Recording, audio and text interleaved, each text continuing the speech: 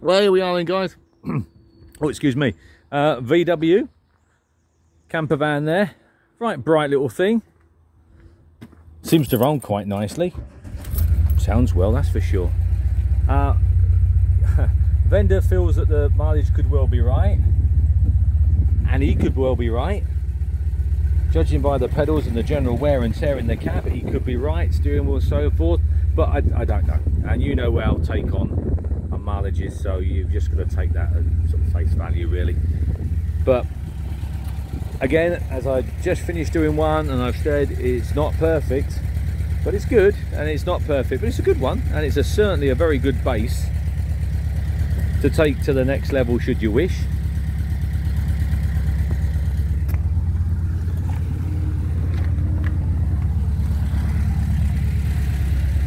Smart and tidy inside the cab seat cover there I've just tucked back out the way just there was a seat cover on just to keep them looking tidy. Obviously the step areas on both sides have had a bit of repair. They all have at this stage haven't they? Door cards and things. Oh that looks nice and smart. Tricky to do with one hand. Only the basics of basics in here. So just a um, I haven't tried anything guys so you know I haven't got time and so just assume you're going to have to get it serviced up. Obviously there's a little bit of a heater there. Looks quite an old one. There's a sink and a gas hob there which is nice. There you are a little sink and what looks like a water bottle there. It's just a basic overnighter really isn't it? Rock and roll bed down here so that's obviously going to get two of you. And then you've got upstairs. Oh it's a big awning as well the vendor was going to send me a photograph hopefully he has with a big awning that goes on the side it sort of doubles the size of the whole thing. So if you wish you've got rock and roll down there and i assume you're gonna you can make yourself another bed up here where i'm stood. That's certainly the way i've seen it with different ones. Bit of storage up there. Another tent bag of some description up there. Oh looks like some windscreen those reflective windscreen um, window covers up there. Go on the front but it's an ideal day van overnighter. Yeah call it what you want. There's a hinge there so I assume this is going to come undone. Oh yeah. Oh there's a no more. Oh there's your battery. Some battery and kettle and a few bits and pieces in there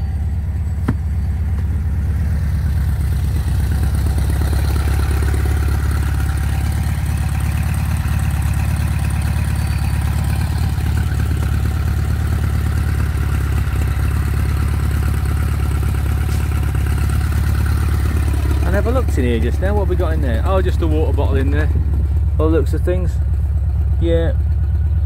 Mm, you could probably arguably say you couldn't fit yourself a better water bottle in there, but anyway, it's there. I'll just stand back so you can have a look inside. Now, it's a little bit tricky with one hand, but I will try. So, wedge that one up there. Take that off of there, which is on a little magnet.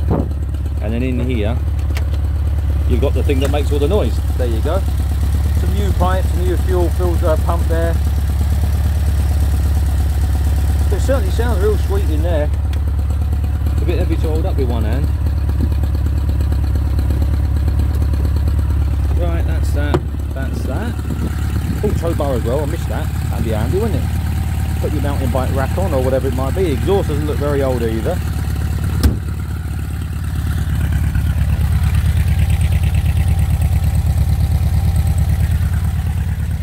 So, we'll shut this one up. I'll shut up the uh, driver's door around here.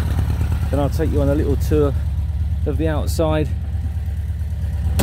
just so you can see basically what we've got. It's a bit bright today down here. In fact, say today it's five o'clock, but there you are. There she is. I've taken 60 odd photographs for you.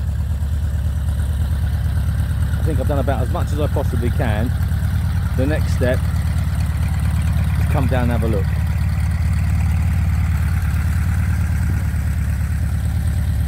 Now in the world of motorhomes, this is well and truly regarded by me and probably everybody else on the planet as being entry level. Entry level, very, very sensibly guided and priced. Let's face it, you can put a hundred thousand pound I think 30, 40,000 pounds, sort of 10 times more of this guide is the norm for a little camper van, isn't it? It's crazy. So just bear that in mind, guys. You know, it's not a Winnebago with a hot tub and a jacuzzi and all the rest of it. It's a little basic VW with room for improvement.